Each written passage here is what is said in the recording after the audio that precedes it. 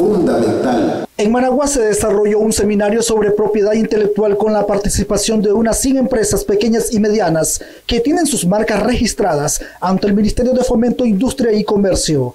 Nosotros tenemos marcas registradas eh, de tipo de alimentos, de textil vestuario, de artículos de cuero, materiales de construcción, servicios, de servicios eh, tecnológicos. En Nicaragua hay más de medio millón de marcas registradas, tanto nacionales como extranjeras, y los dueños de estas empresas deben de renovarlas cada 10 años.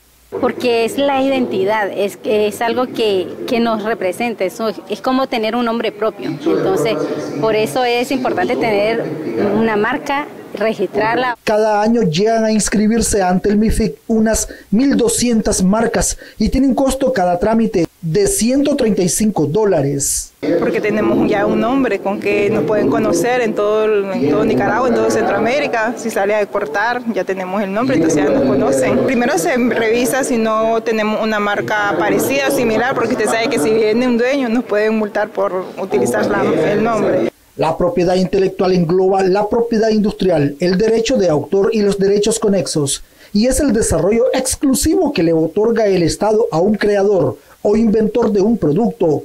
Nuestra marca es el Basigar y de ahí derivamos diferentes tipos de marcas que hacemos.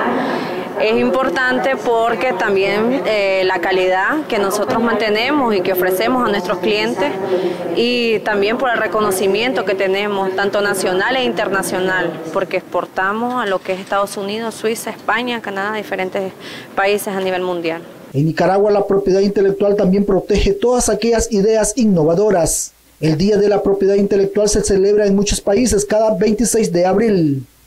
Antenor Peña Solano, Crónica TN8.